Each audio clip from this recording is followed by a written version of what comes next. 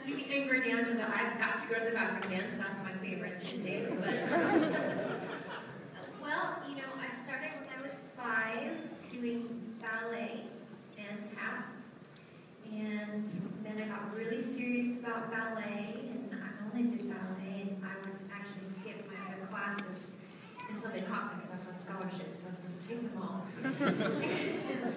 I had no rhythm though, so I was really embarrassed to take the because um, I I just it was very embarrassing. I, I didn't have rhythm.